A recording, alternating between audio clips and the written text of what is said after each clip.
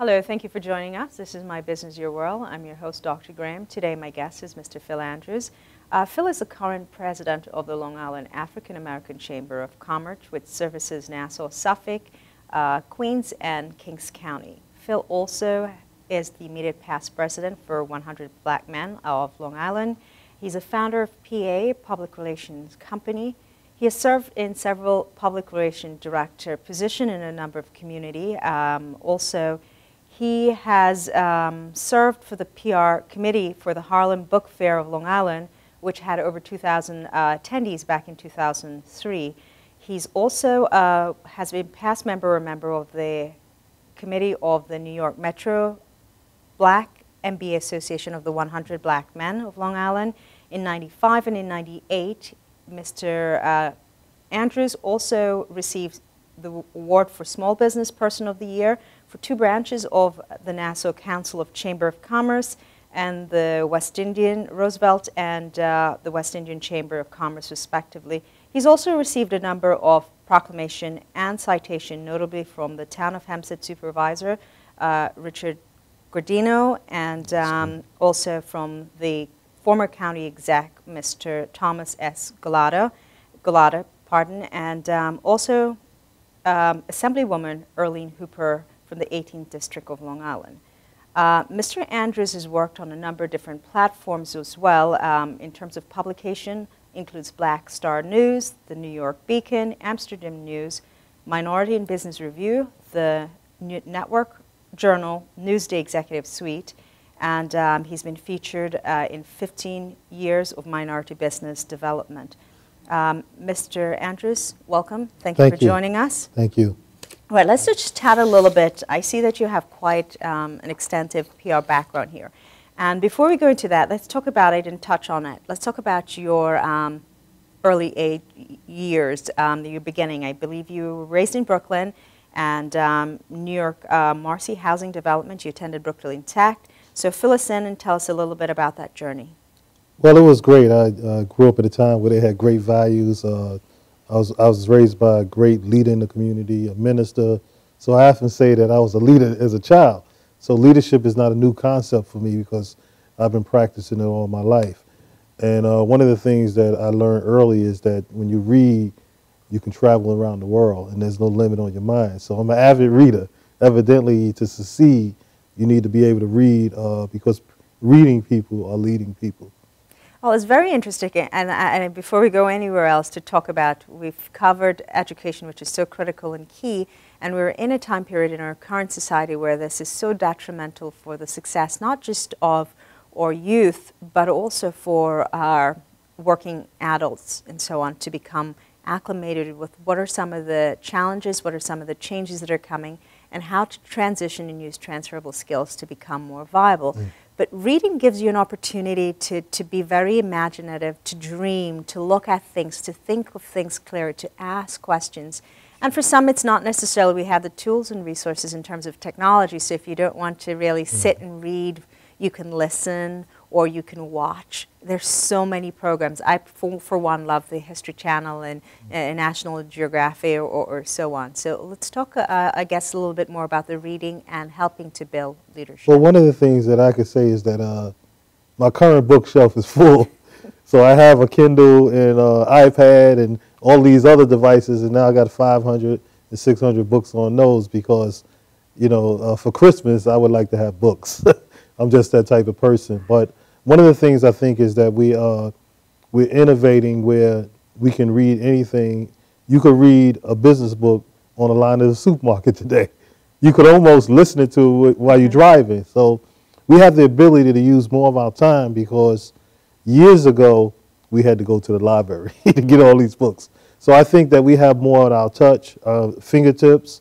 Um, but innovation and reading because you know you got to renew your mind. You got to stay motivated because mental motivation is tied to reading. Is that correct? Mm -hmm. So I think reading is uh, just a key area of looking at things in a wider way instead of like looking at a situation narrowly. That's why they say education kind of like what broadens you. Mm -hmm. So I think reading is one of the keys. Uh, I've been reading American Management Association and Peter Drucker for 20 years. So people say, how do you create this success? How do you do that? No, I study the top leadership trainers in the world and the father of modern day management, right? So reading to me is very important uh, just because you, you only, you don't want to get all your, learn everything through your own experience, do you? No, you want to you want to tap into the knowledge base that's already out there. because it helps to expand. Now, um, rein that in a little bit with um, some of your community work. And it, the reason why I'm going to harp on this note is because education is so critical, and reading helps to develop you as an individual so that you can see the opportunities. How or what can you do, especially when you're put or you're in a particular situation or circumstances that it's not easily navigated? Uh, you can talk about either tough neighborhoods or it could be just financial hard times, but this is what it, it helps to equip you. And as business leaders, as business individual, it is something that is important. Do you That's want true. to chat about that a little? One of the things I've been a big advocate of Think and Grow Rich.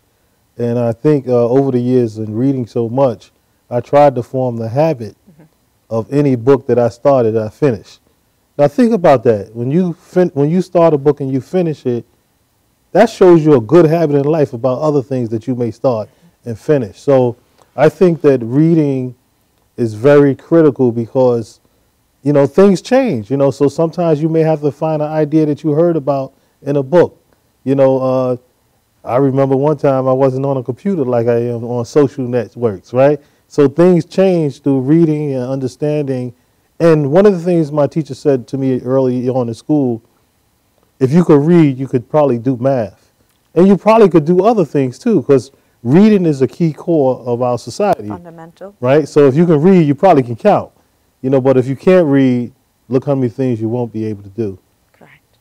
It's very, very important. Now, tell me a little bit about some of your work in some of these organiz- uh, organizations that you've been involved with and leading up to taking on the role for um, starting the Long Island African American Chamber of Commerce. That's, uh, many years ago, I was on the board of directors of the Roosevelt Chamber of Commerce. Uh, I was on the board for the uh, Kiwanis, uh, also the New York Metro uh, MBAs. That's the largest chapter of black MBAs in the country. I was on their PR committee, and I happened to be able to serve on that time when they honored President Clinton.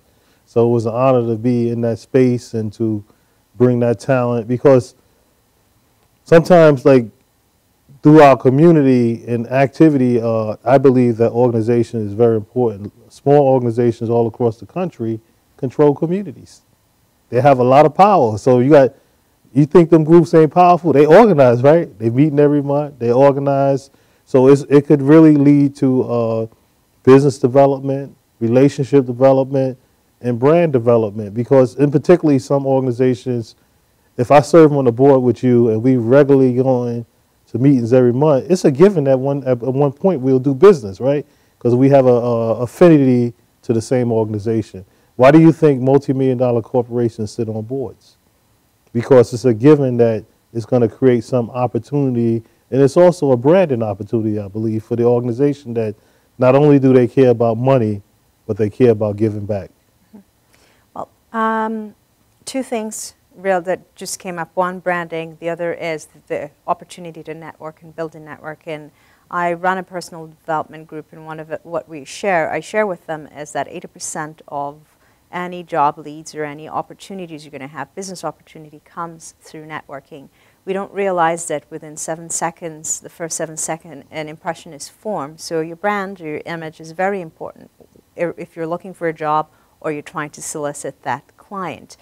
Um, it mm, takes a, it's very involved to get a lot of small business to really come out and to listen and to hear what opportunities opportunities are there for them because the failure rate is really high. One of the reasons for bringing this program is to try and do just that. Get a compelling message out, let them see what opportunities are there because then we'll provide a, a very diverse group of guests that comes in with different background that are individuals that they themselves know or have worked with in the past, but to kind of help to guide, champion that project. Let's just talk a little bit about networking and branding. Well, one of the things um, I'm known as a master networker, uh, and I've probably done more speeches um, in networking uh, than most people. And one of the things is that God didn't create us with all one ability. So there's some things that we lack that we may gain in the network, right? If I lack persistence and I stand next to you, I may gain persistence. So the network is going to give you skills because I believe that our own skill could only take us so far, right? Because everybody's God given everybody else different ability. But when we put those callings together, if I put my calling together with Graham Consulting, right? Her calling is lifted to another level. So, uh, but one of the things is we don't have no course on networking. I mean, now most people they just hear about how to network. And you see how some people network. They push their card in, in your hand, and then when you get home, you throw it in the garbage. So networking is a skill. Networking is you have to be a good, extremely good listener, right? And I also believe that the longer you stay in the networking, more value you could get, because it'll take time for me to get to know, like, and trust you. It'll get time. It'll take time. I may know some. I don't know some things about you right now. You may play golf, right? And I, I may learn that on the 20th networking session with you. So when we bond, it takes time because you wouldn't want everybody just meeting you just to ask you everything about your life, right? So you could connect and click, right? So what happens though is over a period of time, we feel comfortable. We be like, I like this person. I know this person. You always hear we do the business with people that we know, like, and trust. So networking um, is often considered the eighth wonder of the world. it's almost like the law of compound interest. It's almost like the sun. We don't know everything why it works, but when we show up and we do it right, things begin to work for us.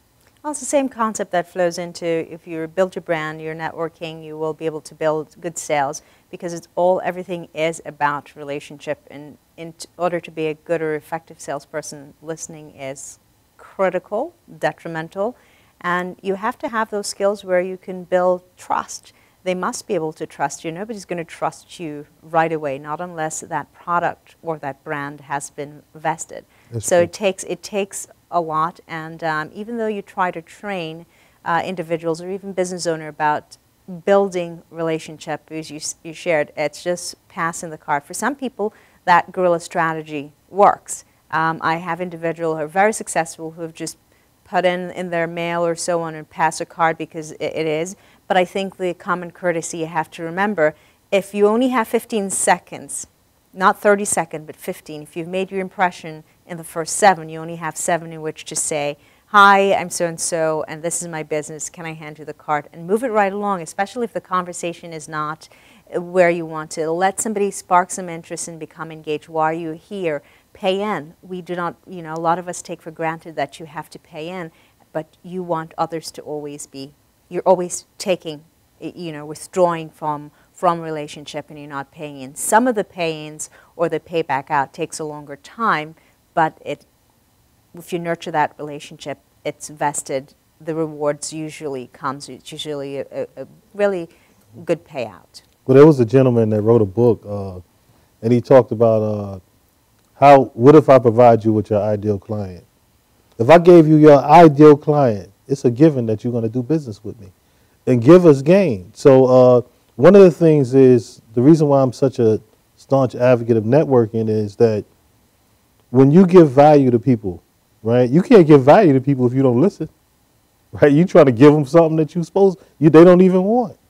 What about if you was a hunter and you supposed to be a farmer? You know, a hunter just goes to hunt. A farmer cultivates things and they grow. So there's a there's levels that uh of mastery.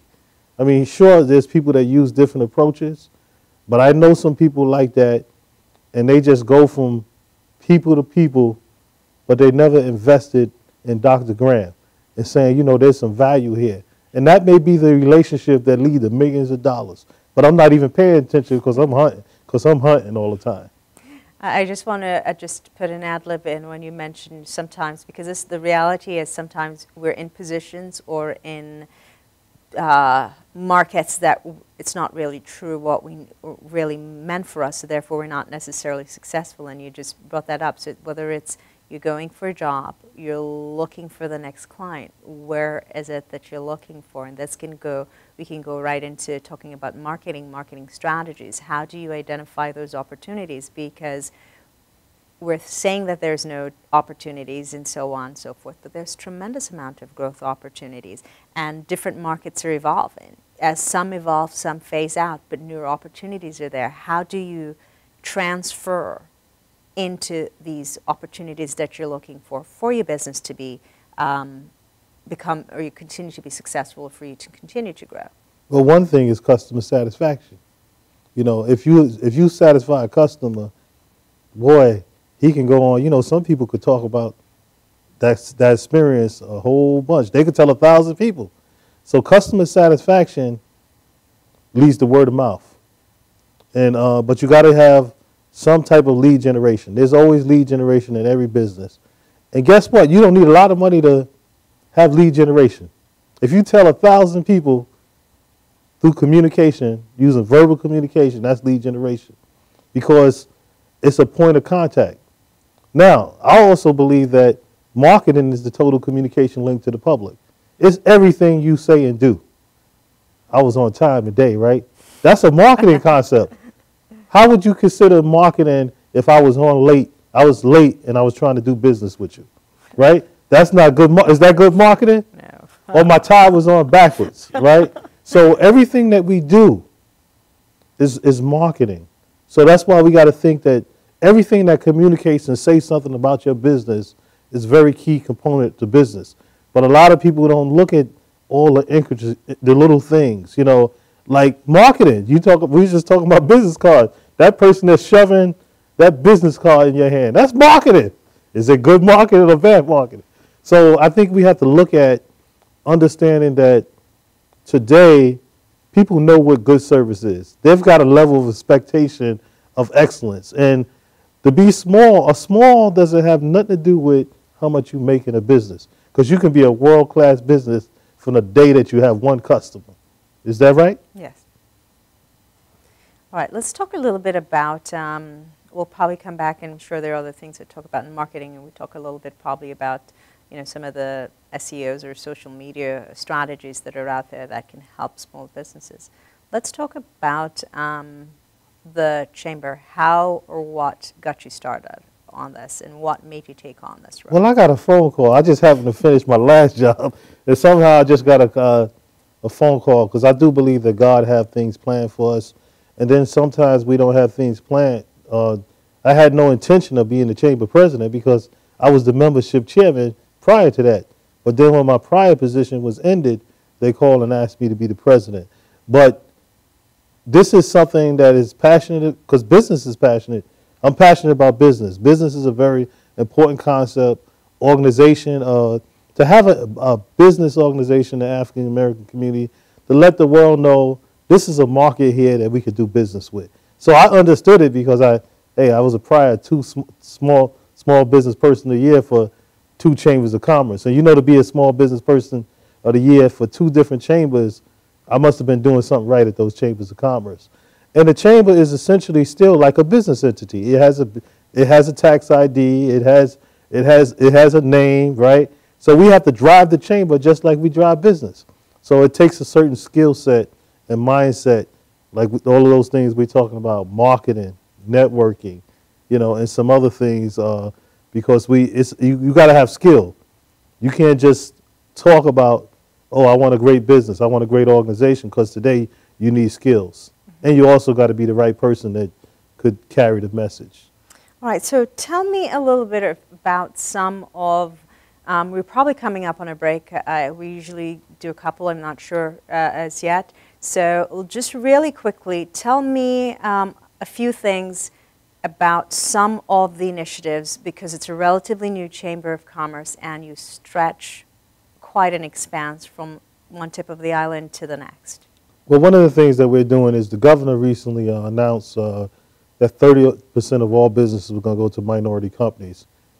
And we're preparing the community to certify small business owners and then working with government entities to kind of make this as a model process something that has never been done, how a chamber will work with uh, a university under the state or a hospital to supply minority business. And the reason why this minority business is very important is that all taxpayers in a particular community or state pay taxes.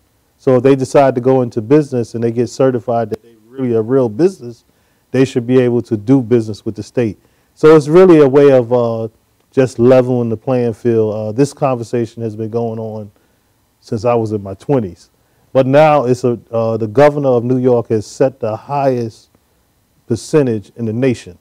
So, but he can't do that without organizations and us equipping ourselves because if we don't have nobody that could deliver that tire, that uh that uh, tire for the uh, the MTA or something like that, or a train. How are we gonna deliver that train if we ain't got nobody in the train business?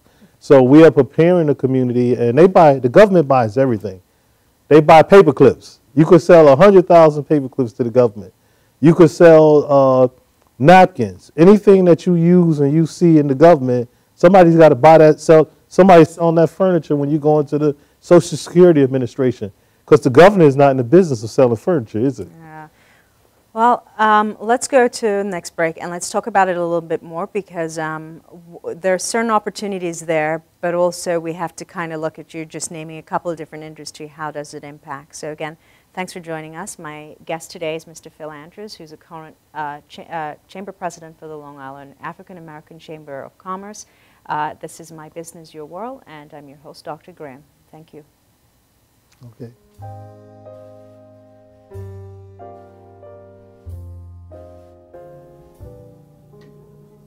My name is Dr. Robert Brevard. I'm here for Multi Medicine in Westbury, New York. We're located at 1065 Old Country Road, Suite 214. Been here for about 15 years. The practice has medical doctors, physical therapists, chiropractors, acupuncturists.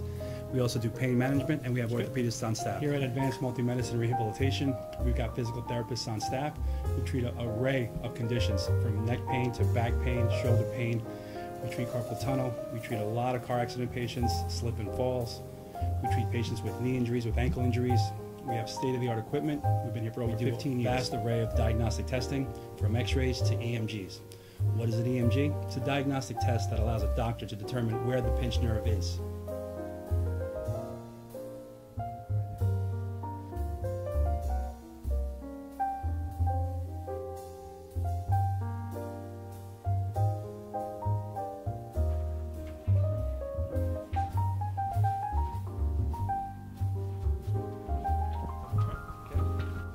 Cora is a physical therapist at Advanced Multi Medicine and Rehabilitation. She's working on Stephanie, who was involved recently in an automobile accident. Stephanie has tight thoracic and cervical musculature, and Cora is doing some myofascial release work and some therapeutic stretching doing it to help her with her pain. Vicky is also a patient here at Advanced Multi Medicine and Rehabilitation. Vicky is now working her leg muscles, specifically her quadricep muscles, trying to strengthen them after an injury she sustained.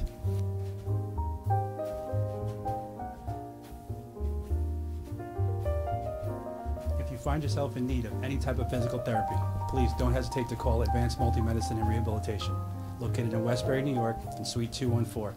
Phone number is 516 334 7000. Hello, thank you again for joining us. This is Dr. Graham, My Business Your World. Again, my guest is Mr. Phil Andrews, uh, Long Island African American Chamber of Commerce uh, President. Phil, we are just chatting about the MWB and um, this push by the governor for 30% um, increase in that. We're looking at, in just in general, women-owned businesses or women doing very well, uh, pushing through glass ceilings and, and getting minimum management positions. Now, what I find is oftentimes while there are opportunities, they're still limited. How are you going about, because here you're pushing for 30%, not just you and your, the uh, chamber has initiatives and, and plans or programs to help to help make that mark, which is significant, and obviously will help to build business, build the economy, job opportunities, and so on. What are some of the areas? Because it's usually, like you're saying, you know, if they want tire, someone to deliver the tire, it's usually mostly product driven. There's some services, but it's not the atypical services that most are providing. I know that I have a consulting firm as a minority um, business owner, it may not be looking for some of the things that we do. And the chances of, even though you have that certification, may take a while. One area of our business is sustainability, conservation, biodiversity, and energy efficiency. So there is opportunities for us to get on some of these bigger projects with other companies and at some point maybe take the lead. But chat a little bit about it's one thing to become certified and have that certification, but what are the opportunities to have this work for you? Well, it's very vast. Uh, we've met with some agencies uh, with the General Services Administration, meaning general services. And they told us we buy everything. We buy paper clips. We buy, we may have a local small party in the office catering. But they, uh, since the law is there, they're under a mandate from the governor. You know, when the governor signs a law, it's a big deal. And you don't do 30%. I'm sure that, you know, some people, uh, you know, they, they monitor these things. This is a national movement across the country. It's been some time, uh, it, came, it stemmed uh, eventually uh, from people being locked out of opportunities. But we've arrived into a new day where wealth is going to be in communities, uh, some lower socioeconomic communities, some higher communities. And the majority firm, they, they're bringing on, if they get 100% of the contract, they have to supply 30%. But guess what? 30 different type of companies could make up that 1%. If you got 1%, they need to give somebody else another 1%. And it's the 30%. But the business is so, I mean, it's so vast, garbage bags. You could get garbage bags from uh, Staples, can't you? And probably find out, does these bags qualify with the bid say? So in, uh, or, or, like a courthouse, CDs. You think they got to use uh, some type of CD case in their courthouses and they document it? I know somebody that once sold over 100000 right here in, in, in, the, in the county next door. So it's things that some of the things is what your code is. Whatever your code is, is that's what you could do. So some of your code, it doesn't have to be like overly complicated of something. It could be a wholesale, retail. What about even if it was on the federal level, the army, they need T-shirts. You imagine how many how many soldiers get T-shirts, white T-shirts? I was in the service, so it's not. Um, some of the things is just thinking about the business that you want to do. Now everybody's not going to be in that construction type of trade. There's going to be people in, what about video services like this, this TV studio right here? The government needs somebody to document a video, but you got to be certified. So it could be, a certified also means a woman, woman owned. It could mean Indian. It could mean, um, you know, different ethnic groups. Asian, it's minority business enterprise, and women are double minority because they've been locked out. Their percentage is so low, so they give you double credit, and they're really trying to increase the amount that women do. Because, you know, the male in this country uh, at one time was getting all the business. So this is basically just making it um, a more equal society. Okay. Now, um, I guess opportunities to look at, and I hope this is something that you also you're sharing, like about the codes and so on, is where those possibilities are because it may be something that a small business owner, I, you know what, I can actually design t-shirts. Are they really looking for, is there a need, is there a lack for an, in an area that they're not getting? So then you can be trained and prepared for, well, for those. I think that more so than anything else because there's, they need certain things, but how frequently do they need it or they're, they're using it? And you have to be able to look at those areas that it's probably a natural transition for that particular business. Well, one of the things that I'm a big advocate of is technical assistance. They are the Small Business Administration, uh, helps you with uh, loan programs. They have some type of online training.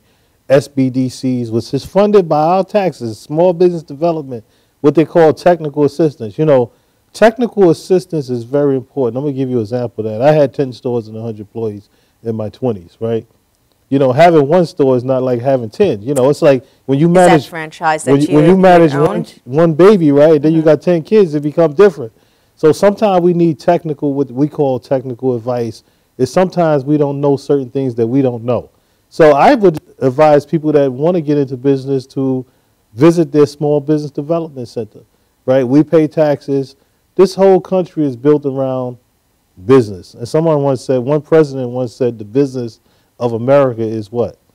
Business, right? But so we there's technical assistance, because uh, sometimes you may not know certain things. There's people that counsel hundreds of millions of businesses, and you and and uh, you know a lot of times businesses got the same problems, right? Cash flow problems, management problem, problem that they doing everything themselves. You know, uh, so there's some people out here that could help you assess your business and just like you, do you ever have to bounce something off somebody? An idea? to stay on the right course. So today we have all these technical assistance programs all across the country and the college. You have one here at Farmingdale University. Stony Brook has a small business development center. So even the chamber, we're not going to try to be everything to everybody because some of our tax money funds programs to help us get in business. And then, you know, when you go into to business and you make money, what happens? Then you pay taxes, right? So this whole country is built toward business development. Okay. Um, let's talk a little bit about, I want to backtrack because I don't think we've quite finished uh, talking about, and you brought up that you served in the, the, the, the um, armed forces or the Navy, is it? Y yes, the Navy. Um, as well. So let's talk about some of your formative years. And, you, you know, you talked about, you know, reading and understanding that reading is what was important to getting you to where it is. We'll rein in when we're chatting about that. Let's talk a little bit about mentors and any mentors that you've had. I know that you're a certified mentor as well, so we'll from there we'll probably talk a little bit with the you know talk about with that relationship with the 100 black men as well. Well, I was always uh, very uh, fortunate in my life. There was some older people always around, and they told me things, you know, and I listened. So sometimes, you know, a conversation can change your life. It could empower you. But if you don't listen, you know, like one of my guy uh, mentors, he was a Tuskegee Airman, and he would take me to the to the people, the place, the homeless shelters where they fed them. He said, "Phil, maybe one day you could do this. You could develop something where we could help the help our community in shelters and feed them. So, it, but they just was great guys. I mean, and then I sat under great leaders. I mean, I, I sat under men that said I never met a man that I could not like. I sat under other men that says, you know what, I love Argyle socks. So we just had these great guys. They was just uh, great leaders, and we just wanted to spend time around them. And then, you know, one day, one of them always said, as I am today, you shall one day be as he get older, then we become those great leaders. So being around uh, great leaders and being around great people and hearing great conversations is very important. In the military, that helped a lot too. I mean, come on, discipline. How important is discipline? You know, I mean, how important is typing? You know, I learned how to type in the military, and back then in those days, they put paper over your keys. You couldn't see the keys, so you had to learn how to type right. So every skill, and I tell young people or any adult in the community, everything that you learn somewhere along the line, down the line, you're going to use it in life. Mm -hmm. So you may you got to pay attention to what you need and, and develop uh, the skills at the time, and then later on you may need that. You know, it's so important, and I, have shared that as well from even in my own development that I've looked back and uh, what do I need to do with math? I'm pretty good at it, but I don't really like it that much or something. And then when you get into the finance world, or the financial world, the accounting world, and not just those worlds, just business and personal life. All these gadgets that we use, and not even just the gadgets, they're right in there. They've just made it so much easier. And if you'd paid attention, it would make that calculation that you need to do so much easier for you to, to really understand. But, but it That's is, true. It is. Somebody told me once, what if you had a million dollars and you put the digit in the wrong place? you'll be glad, you'll be happy that you had the education not to do that because mm -hmm you may have wrote the check that all the money that you had in the bank went down to 0 mm -hmm. So education is very important. It really is. All right, let's talk about mentorship. And you, people who have mentored, you were talking about some great um, individuals who took on leadership role for you. Let's talk about any one particular mentor or mentors that stood out for you, and do you have any mentors now? And then we'll get into about people or individuals. Well, I sat under um, in my prior position. I sat under uh, seven, about seven presidents of the Hundred Black Men, and I was mm-hmm. long well capable of being president of Hundred Black Men many years ago. But you know, leadership is a service concept. So he who serves, who wants to be the greatest leader, must become the greatest servant of them all. But leadership really teaches you a lot about yourself because even in the area of mentoring, if you tell a kid, don't put that paper on the floor, and then you did it, you're exercising poor leadership. I was at a conference one time with 100 Black Men of America, and a kid was throwing away the milk. And then uh, the mentor told him, don't throw away the milk because it's good to you. It's good for you. And the next day, he saw the young man teaching another young man about that little ounce of milk that you're throwing away. you need the vitamin C.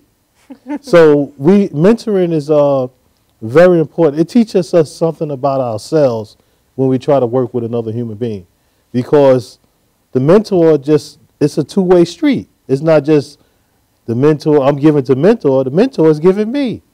If I'm late, the mentee says, "Well, you late. You need to be on time." The next time I got to be on time. So it's a two way conversation when you when you deal with mentoring, but it is known as the gift that keeps giving, and mentoring just keeps giving and giving and giving and giving and giving. Time flies by fast when you're having fun. I think we're up on our next break. Let's pick it up back, and I want to talk a little bit more. I'd like to learn a little bit more about um, the, the role in terms of some of the community things that for 100 Black Men and um, some of your mentorship or your the individuals or companies that you mentor. Again, this is Dr. Graham uh, with my guest, Mr. Phil Andrews, on My Business Your World. Thank you for joining us, and we'll be right back.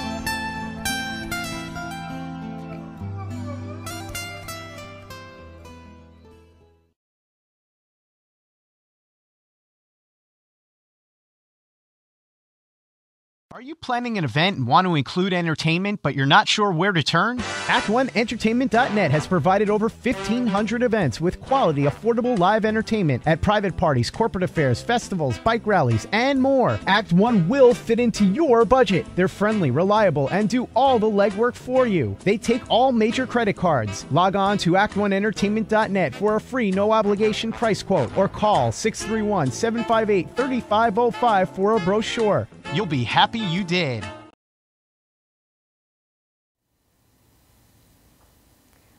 Hello, thank you for joining us again. This is My Business Your World. I'm your host, Dr. Graham, with my guest, Mr. Phil Andrews. Um, Phil, we're chatting about mentor and mentorship.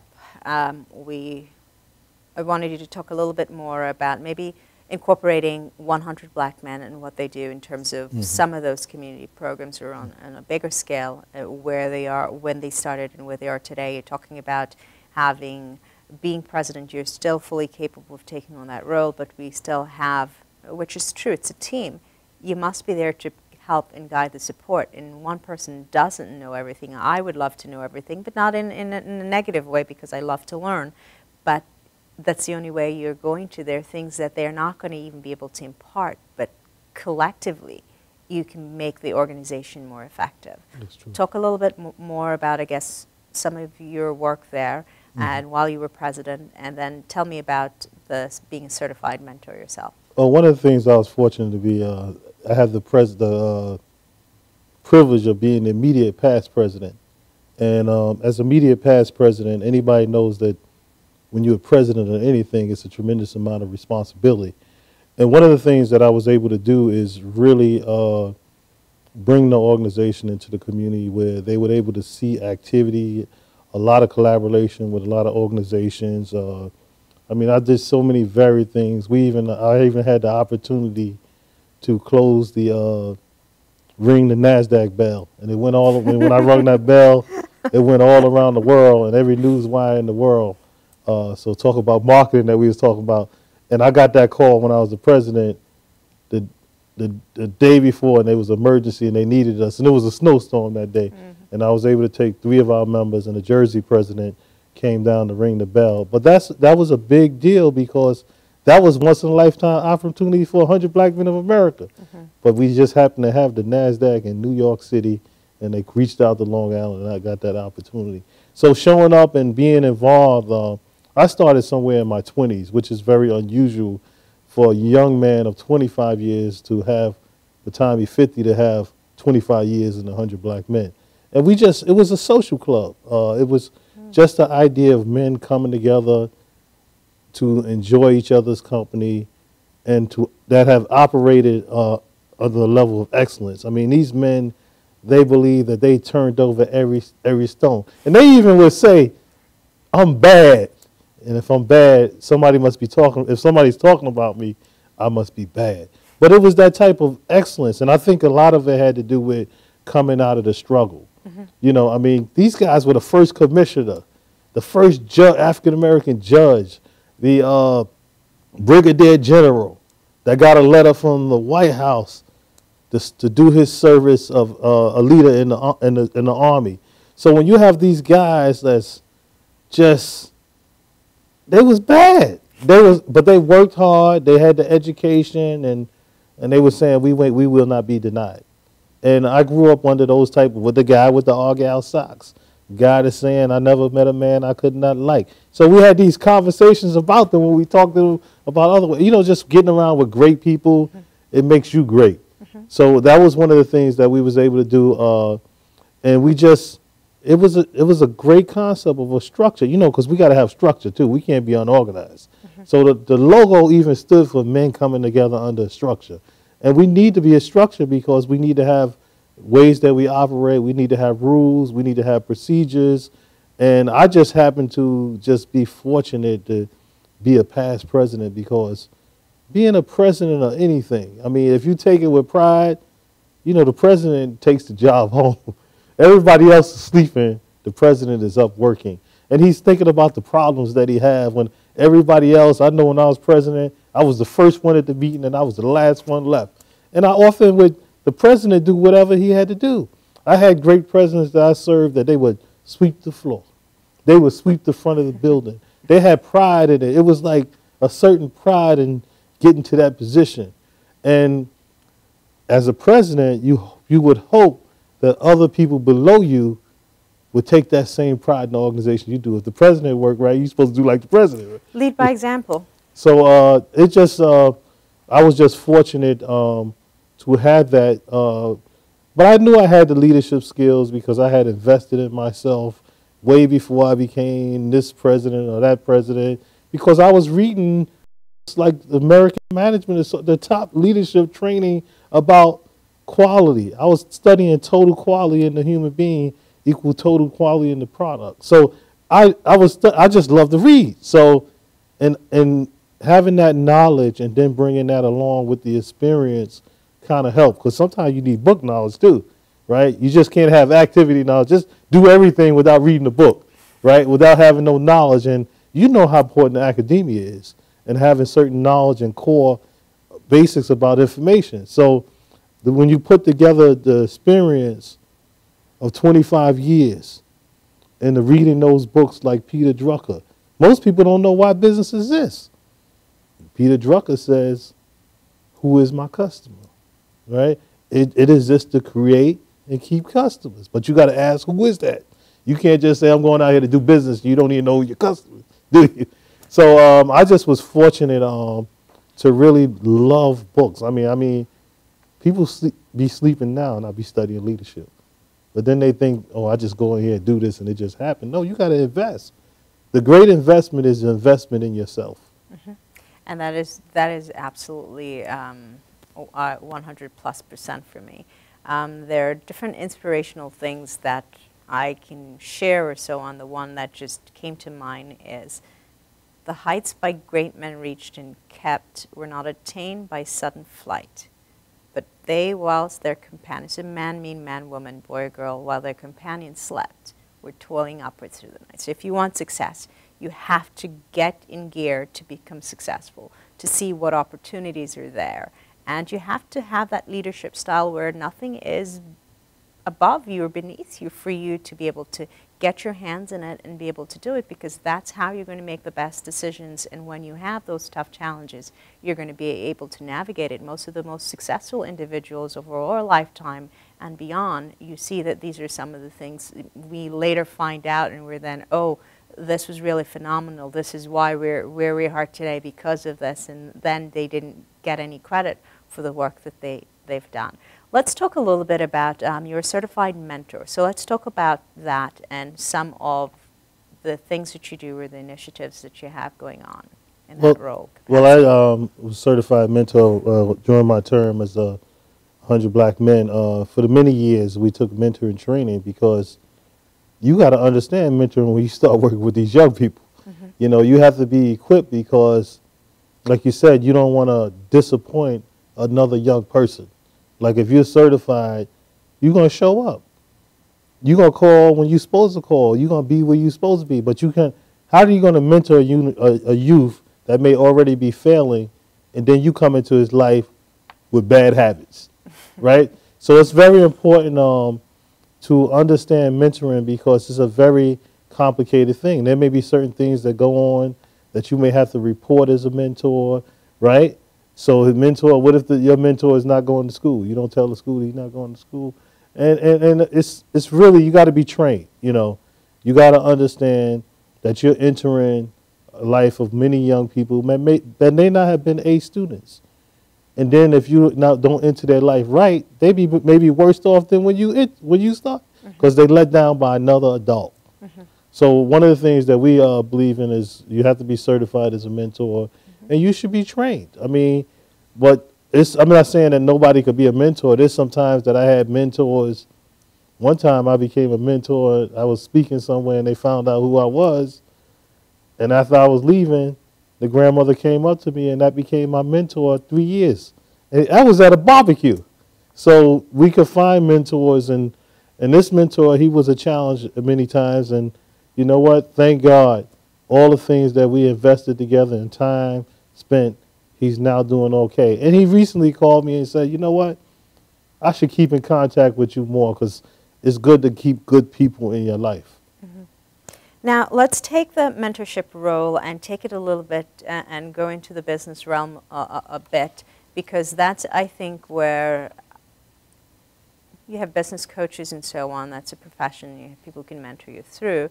Uh, obviously, a cost is involved. Um, are you taking on those roles with your chamber, with your board of directors, with your committee in terms of some of those very basic things that they need to, to look at in terms of even looking at, I know most chambers and most organization networking group do many workshops and so on. Um, we focus on core business operations, so we go in and tell you what are some of the things that you need to look at and how you can fix them and if it involves other um, companies or organizations or group or individual coming in, then they will take over and do that piece for the company.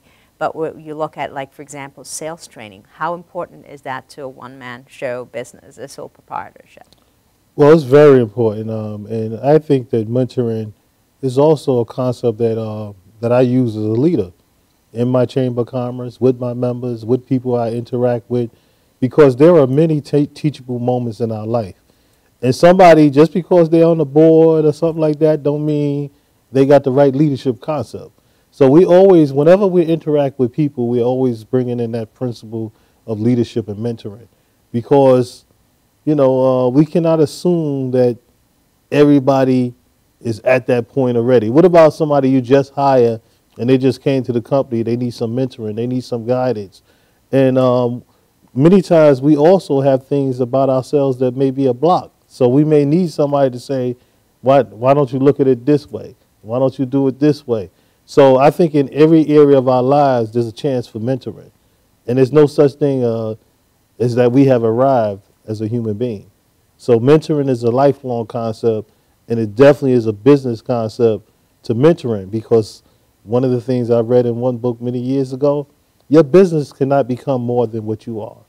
People develop the business and business develop the people. But if you want to keep developing your picture, business, evidently you can't keep thinking the same way, right? A billionaire doesn't think like somebody that make ten dollars a day, right? He must have something way something must have changed the way he thought about things. So we have to personal development is a very key tie to business success. That's something uh, I've been fortunate to be a part of this program. We run uh, personal development, we do management development and training programs as well. But my takeaway and my taking my background in operation is just looking at that you have to understand how this individual work. What is, the, what, is, what is necessary important to make a business successful and to drive that? You can't now think overall that someone's obligated to you or indebted to you to get X, Y, or Z, and so on and so forth. You have to think beyond that because you're part of that system. And in order for that system to work, you have to participate. I understand there are challenges that we can talk about in terms of internal conflicts and so on and so forth, but that's where you go in and you clean up house. And I all one just wanted to just add back for myself as I was going through the corporate role, all my managers were the last one to leave were myself. Always. We were always, and therefore, if they are, they're always ensuring, what are you still doing here? Leave but the work has to be done, and there is a certain amount of commitment and, passion for what it is that you're doing, even if it's something that you don't love. You have to go through those experiences in order to become successful. And I've had many, many uh, successful individuals that have been in my life. So I think in, in theory and in application, that has also helped me to become, you know, who I am and, you know, more driven and successful. Let's talk about um, startup costs and so on for a business. Because as you, you've shared, is that sometimes businesses are starting up and um, they don't really understand, and here going to the SBDCs, maybe a local chamber of commerce or the SBAs, uh, there are a number of different um, groups that are formed to help them to kind of navigate through some of the early age or stages of starting a business because that's pretty tough. We're still in our developmental stage and it is not easy to go in, create your brand, to go in, make sure people trust and know that you're doing what it is that it is. I can make that referral because I trust that you're not going to embarrass me or, or, so on and so forth uh, in terms of making those referrals when you're starting out. Well, one of the things I think is that um, if you take an example, maybe like uh, BET, I know it's a little extreme, uh, uh, Black Entertainment Television, he just was determined. I mean, I know when I had my franchise, I was determined. I was in 20 degree weather going door to door with flyers. I would put a thousand things in the mail and ask God to bless them. So, so determination, I'm not saying that everybody should go with determination. You should be determined to do your business. And usually when, even I know I've met some millionaires over the years like Mr. Dudley, doing $30 million a year. But guess what? At one time, he was collecting the cans, right, to do the hair and then labeling them. The guy that do Poor Freddy's. I read a story about him in the paper where his father first was finding the tires and repairing the tires, and this business became a big business. So all businesses, no matter how big or tall they are, they had to start from somewhere. But we don't think IBM started from somewhere. A Bill Gates started from somewhere. All businesses, regardless of size, but they, even when they were small, they started certain processes. Good cash flow management, marketing, branding, right? You could start that when you got two customers, right? So it's not small, like I said again, does not mean that you don't have the heart of a champion and then that your business one day won't be a multi-million dollar business. All right. I'm not sure if we're coming up on our next break, but let's just um, talk about a little bit because now we can talk about business plan a little bit. And while you're small business, the, this is where education, the reading and so on help you because if you start with a vision and a mission, at least you know all the pieces that it is you're going to need to identify your customer, why you're starting, what is it that you're looking to offer, and then go and look at your develop a business plan and you know get some market research in there. Not just googling something or somebody's telling you that this is something. Do some homework so that you can understand what this means to you and your family because you're starting out, and it, usually is a significant investment and personal investment as well. Well, you need a team. One of the things that uh, I had alluded to earlier is that we don't have all of the ability. You know, you may have your business, but you don't have the accounting skills of an accountant.